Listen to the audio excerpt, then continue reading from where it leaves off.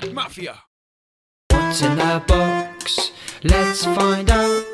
It's tabletop unboxing.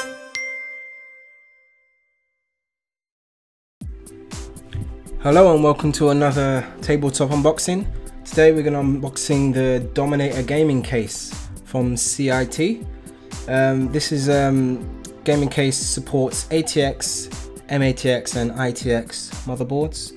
Um, I picked this up from eBuyer for £29. It's a really good deal um, for what you get. Um, so getting it um, right way up. See on the front we've got uh, two 12 centimeter fans uh, with blue LEDs uh, spinning it around. See that's just the back side there. And um, on the back we've got another 12 centimeter fan we've got um, that's also with blue LEDs and we've got um, seven uh, expansion slots um, for the motherboard. Um, yes, so we also got uh, those two C2 inputs there for liquid cooling, which is always good. And let's just take this uh, side panel off. See inside. So, uh, nice thumb screws as well.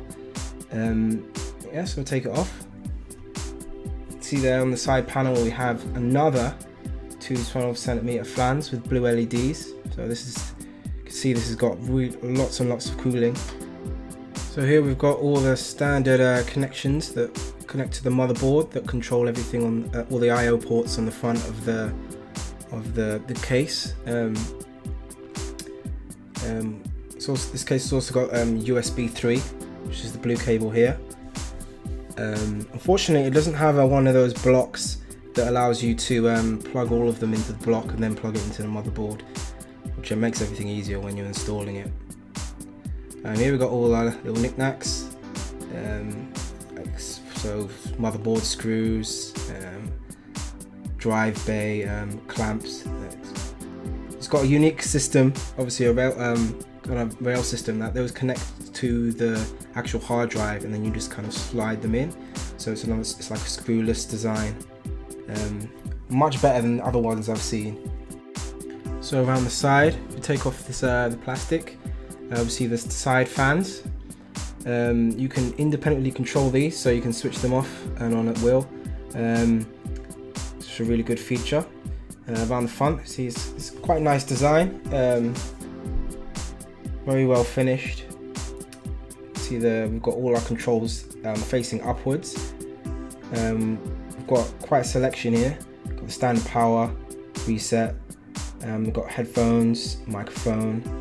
Uh, with these like, um, I guess they're dust covers. I, suppose, I guess supposed to take these off, not always use them. Um, we've also got a, a memory card slot, which is is is rare. So SD cards, MMC, and MS um, so that's good.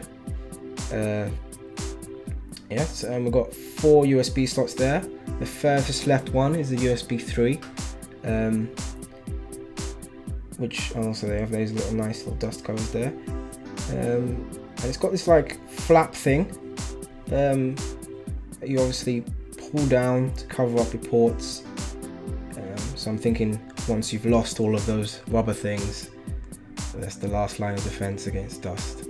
The greatest thing about this is that you can actually control every um, what the rear and front fans independently. So if you're doing a very system heavy task, you can put them high. If you're not doing anything at all and you want it quite quiet in the room, you can put them low, or you can just completely switch them off. So quickly running through the internal bays, we have um, two five and a quarter bays for your CD-ROM drives, four three and a half bays for your hard drives, and one two and a half um, inch bay for um, an SSD drive that actually sits quite nicely on top um, and doesn't need an adapter that you get where you usually need to put it into the um, three and a half inch bay so that's good. So that was the unboxing of the Dominator gaming case by CIT I'll probably do a follow-up video where um, after I've finished installing everything to show you how really nice the um, cable management um, is in this case um, so thanks for watching Tabletop Unboxing. Please um, check out our other videos, uh, check out the Geek Mafia Network, and please subscribe. See you later. Tabletop Unboxing.